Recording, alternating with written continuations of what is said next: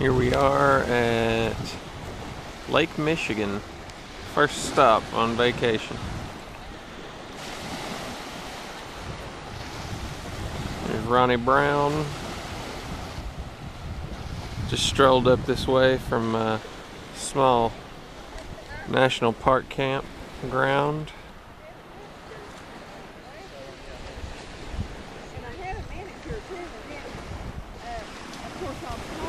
Uh-huh.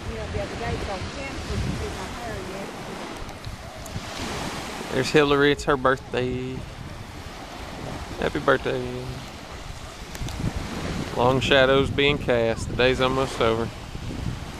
Vacation's just begun.